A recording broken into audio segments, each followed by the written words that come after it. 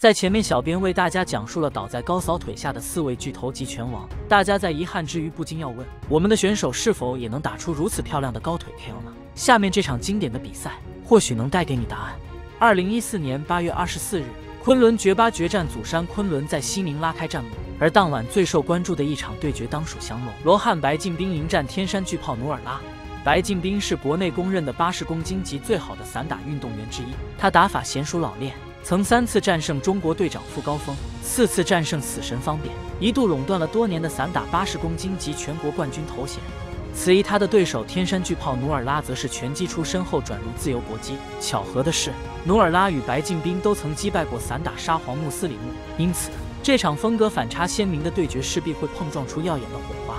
而实际的比赛场面也和赛前分析如出一辙。比赛一开始。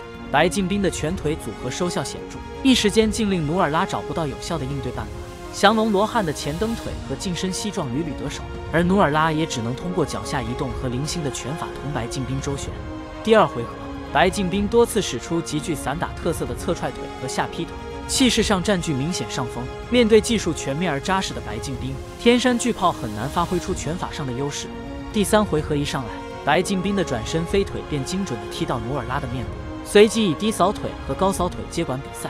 一分三十四秒，白敬兵突然记起一记冷脆犹如弹弓弹射般的前高鞭腿，清晰的击中努尔拉的下巴。努尔拉毫无意识的应声倒地，直接失去再战能力。比赛就此终止。这是一场棋逢对手、风格迥异的强强对话，以令人期待的方式开场，以让人出乎意料的方式结束。事实证明，我们的选手也可以打出漂亮的高腿 KO。这是一场具有典型性，足以载入中国格斗史册的精彩战役。